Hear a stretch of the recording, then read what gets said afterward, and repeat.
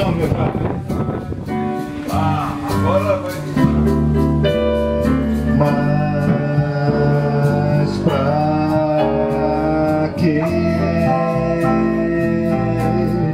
Pra que tanto céu?